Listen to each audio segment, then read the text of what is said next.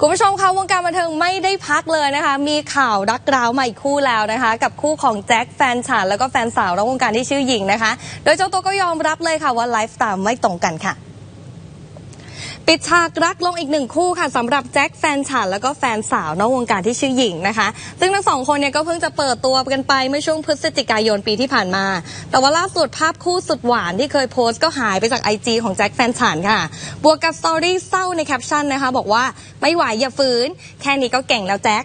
ซึ่งแจ็คแฟนฉันเนี่ยก็ได้เปิดเผยว่าความสัมพันธ์ครั้งนี้จบลงด้วยดีค่ะ ส่วนสาเหตุนั้นก็มาจากการใช้ชีวิตที่ต่างกัน แม้จะปรับจูนกันแล้ว แต่ก็ไม่สามารถเดินต่อไปได้ และตอนนี้ก็ยังเป็นพี่น้องที่ดีต่อกันค่ะ